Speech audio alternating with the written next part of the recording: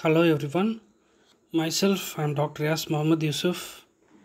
In this video, we are going to discuss the overview of power factor. This video represents what is power factor, definition and different forms of power factor, how inductive loads affects the power factor, why should industries maintain the power factor near to the unity, equipment causing poor power factor, how how to improve the power factor. Let me start from the definition. Power factor is the measure of how effectively the electric power is consumed. That means it is the measure of how effectively the electric power is transferring from load to the source. The power factor is also defined as the cos of angle between the voltage and current. The power factor is also defined as the ratio of real power to the apparent power.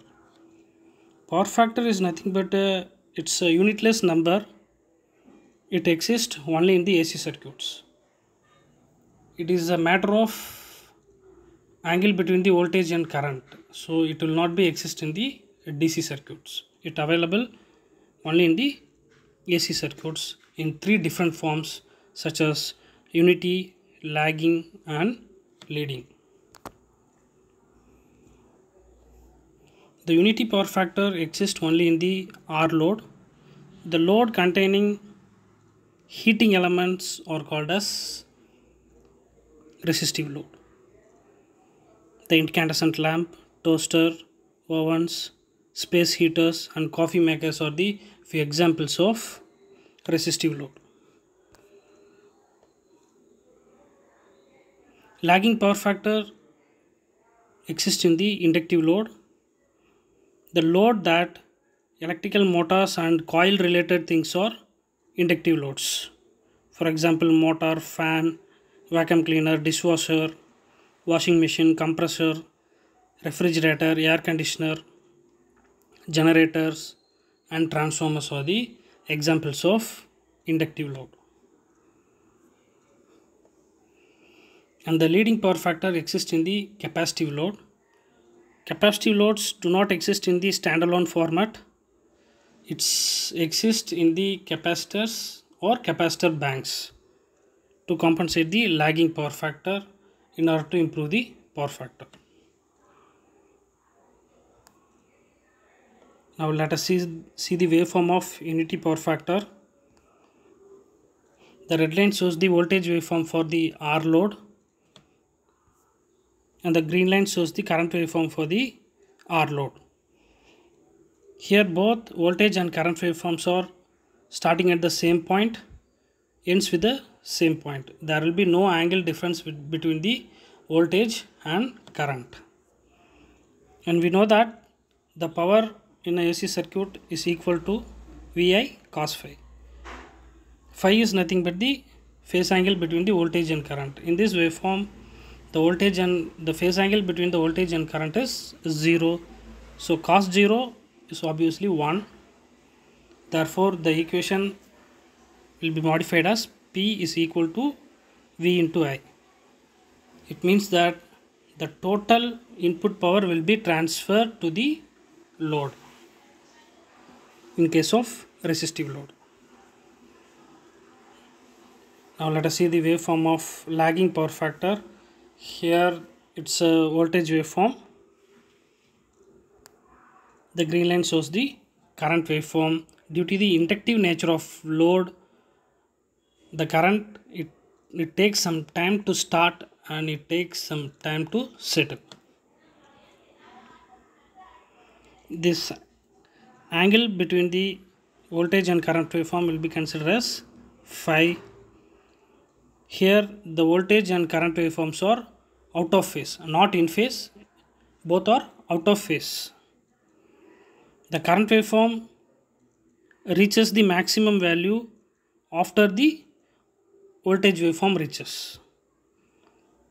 The current waveform lags the voltage waveform in this diagram.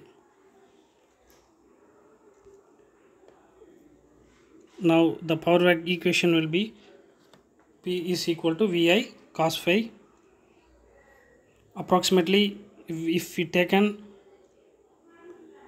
the phase angle is 30 degree the cos 30 is 0.86 then the power equation is P is equal to VI into 0.86 so this means that 86 percentage of input power will be transferred to the load. So remaining 14% will be considered as losses. So to compensate this loss we have to install some capacitor or capacitor banks along with the inductive load. Let us see the waveform of leading power factor. The voltage waveform.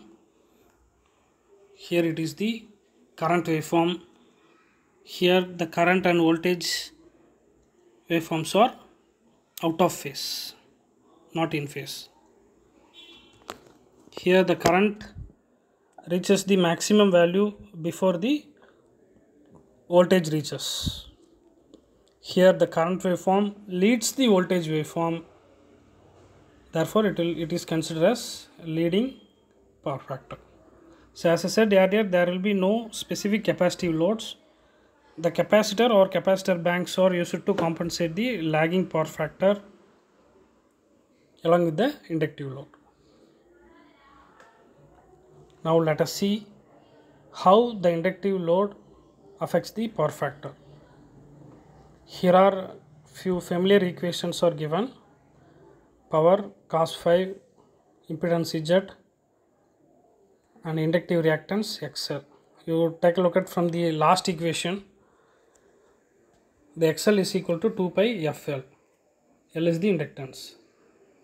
If inductance increases in the load then the inductive reactance will be increases xl if xl increases the impedance will be increases z. If impedance increases the power factor will be decreases. So this is how the inductance affects the power factor. If inductance increases then the power factor will be decreases. If power factor decreases the power transferring capability will be decreases. So by using these equations we can calculate the power factor.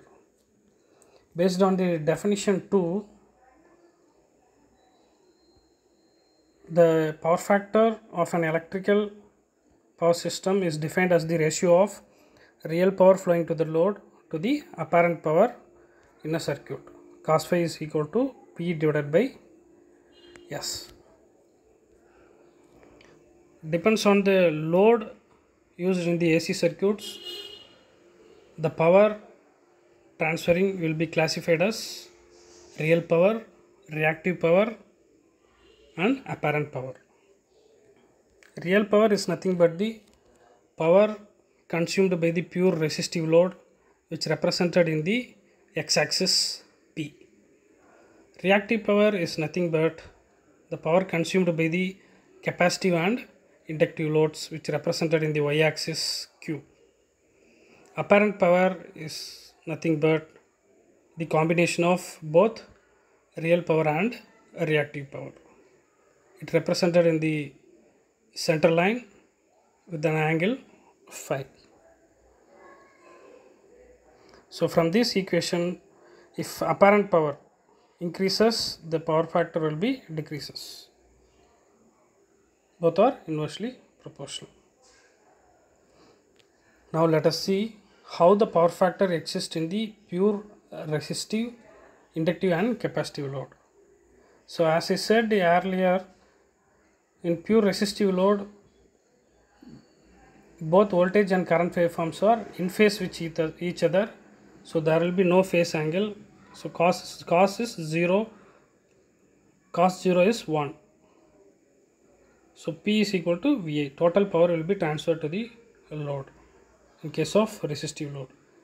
But in case of inductive load, pure inductive load, the current is lagging by 90 degree from the voltage. That is the phase difference between the voltage and current or 90 degree. So cos 90 is 0, so total power p is equal to 0 there will be no power is flowing to the load in case of pure inductive load the same thing in the capacitive load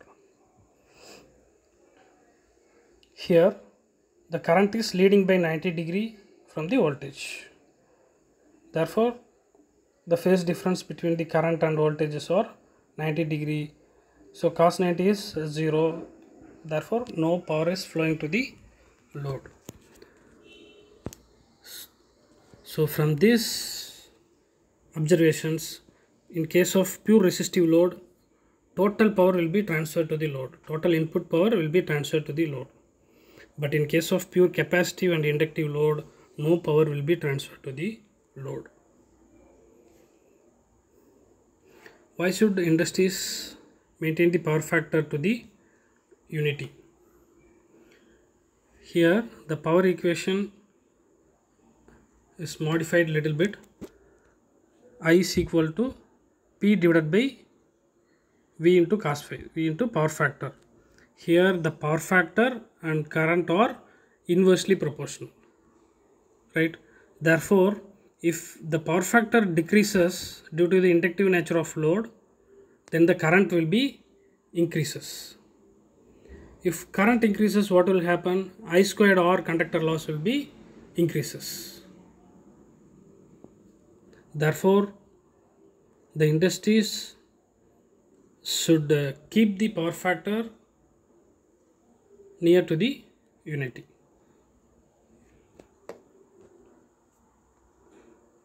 Equipment causing poor power factor. The equipments such as air conditioner pumps grinder fan blowers are having 80 percentage of power factor or better power factor. The induction furnace standard stamping machine and welding machines are having 60 to 80 percentage of power factor.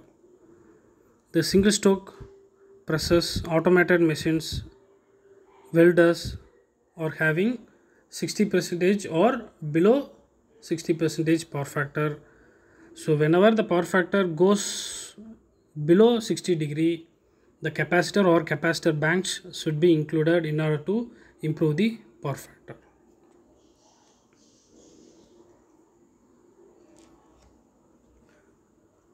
I hope you all uh, understand the overview of power factor in this video. Thanks for watching. Thank you.